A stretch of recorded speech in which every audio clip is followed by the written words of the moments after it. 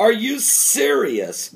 Are you serious? I, I can't wait to read this chapter. I really love this chapter. It's a powerful chapter, and it puts the devil on notice. This is Isaiah chapter 14. Certainly, uh, the prophet Isaiah giving the destiny of the devil. Get a cup of coffee, and I'll be reading from the King James Version of the Bible. Isaiah chapter 14. For the Lord will have mercy on Jacob, and will yet choose Israel, and set them in their own land. And the strangers shall be joined with them, and they shall cleave to the house of Jacob. And the people shall take them, and bring them to their place. And the house of Israel shall possess them in the land of the Lord for servants and handmaidens, and they shall take them captive, whose captives they were. And they shall rule over their oppressors. And it shall come to pass in the day that the Lord shall give thee rest from thy sorrow, and from thy fear, and from the hard bondage wherein thou was made to serve. That thou shalt take up this proverb against the king of Babylon, and say, How hath the oppressor ceased? The golden city ceased. The Lord hath broken the staff of the wicked and the scepter of the rulers. He who smote the people in wrath with a continual stroke he that ruled the nations in anger is persecuted, and none hindereth. The whole earth is at rest and is quiet, and they break forth into singing. Yea, the fir trees rejoice at thee, and the cedars of Lebanon, saying, Since thou art laid down, no feller is come up against us. Hell from beneath is moved for thee to meet thee at thy coming. It stirreth up the dead for thee, even all the chief ones of the earth. It hath raised up from their thrones all the kings of the nations. All they shall speak and say unto thee, Art thou also become weak as we? Art thou become like unto us?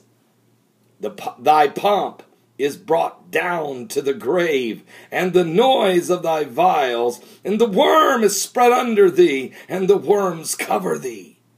How art thou fallen from heaven, O Lucifer, son of the morning? How art thou cut down to the ground, which did weaken the nations? For thou hast said in thine heart, I will ascend into heaven. I will exalt my throne above the stars of God. I will sit also upon the mount of the congregation in the sides of the north. I will ascend above the heights of the clouds. I will be like the Most High.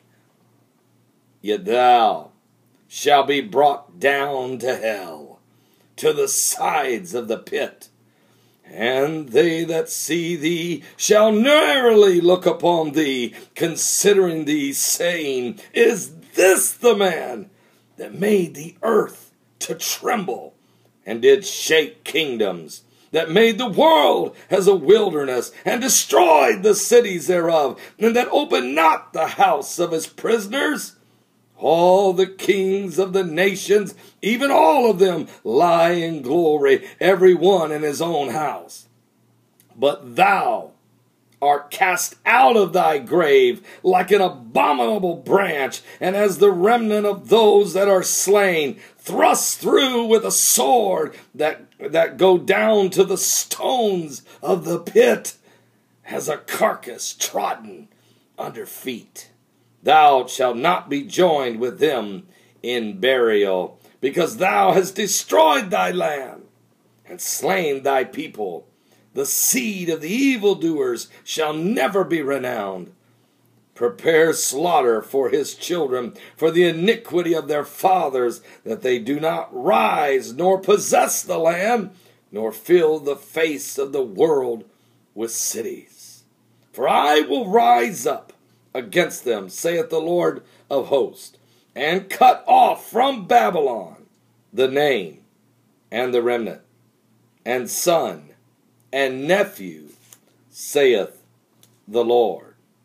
I will also make it a possession for the bittern and pools of water, and I will sweep it with the besom of destruction, saith the Lord of hosts.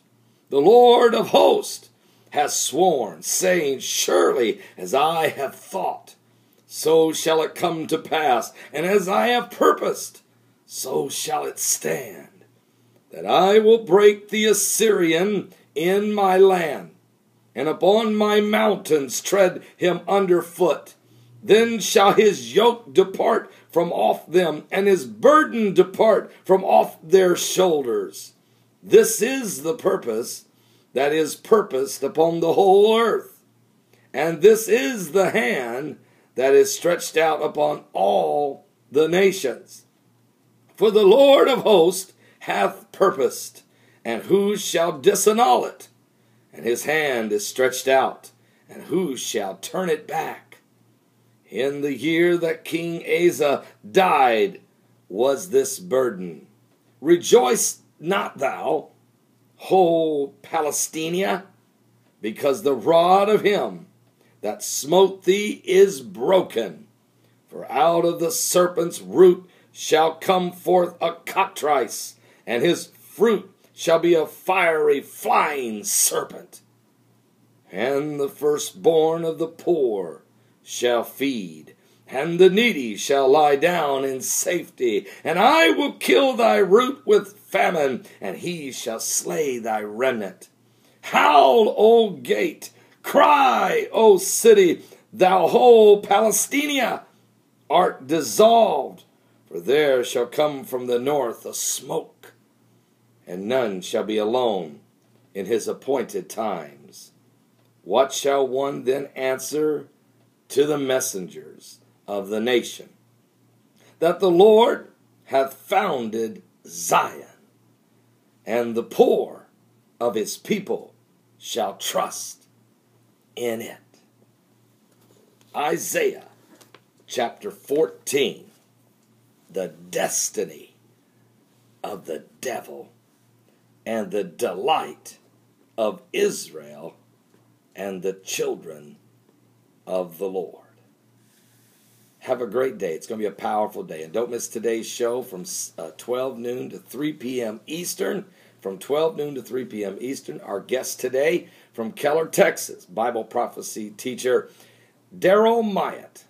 We'll be talking about the Middle East, Israel, the peace agreement, and everything that's going on as it relates to end time Bible prophecy. God bless you in Jesus' name.